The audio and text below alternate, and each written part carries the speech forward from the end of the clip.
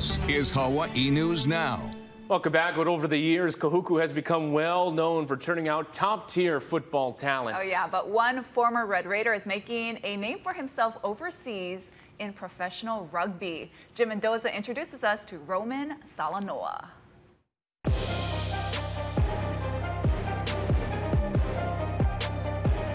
His football playing days, Roman Salanoa was a standout at Kahuku High School. He was a big kid with an impressive highlight reel. But on his way to a college scholarship, another sport came calling that would send him in an entirely different direction. So I went from signing with junior college in football to signing again with the rugby team in Lindenwood, Missouri.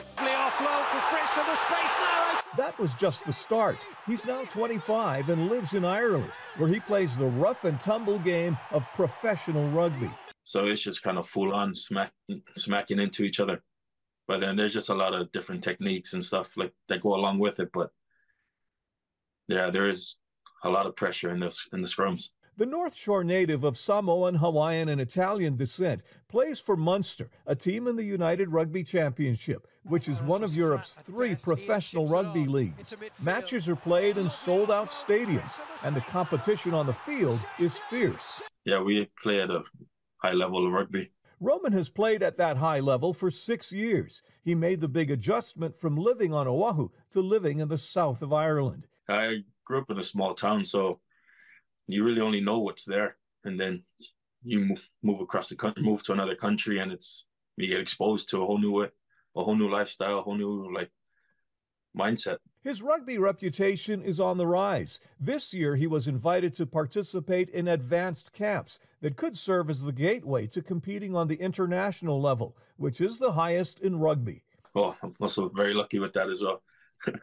very mm. grateful. There are perks that come with a career. The pay is good, and he gets to see the sights. Besides Ireland, matches take him to France, Italy, Wales, England, Scotland, and South Africa. Living abroad has even snuck into his vocabulary. Like I'd say lads, like lads instead of like the boys.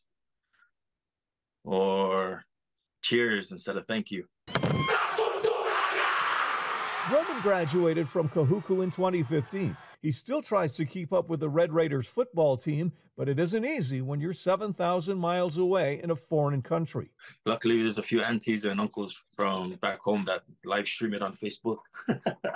After this rugby season is over, Roman and his girlfriend Roisin will visit Hawaii so he can catch up with his family and friends and give his body a break. Shout out to the 808. Let's go.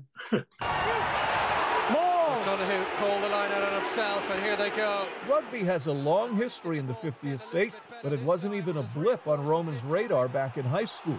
Fortunately, a rugby coach saw his potential, and now he's in the big leagues. I'm Jim Mendoza for Hawaii News Now. Absolute beast. Fun Woo. story right there. And I can imagine uh, the power run game from Kahuku really helped mold that rugby style right there. I love the language, lads. Lads Cheers. instead of boys. Cheers instead of thank you. That's right. Well, thanks for watching First at 4. Here's what's coming up in our next half hour. The state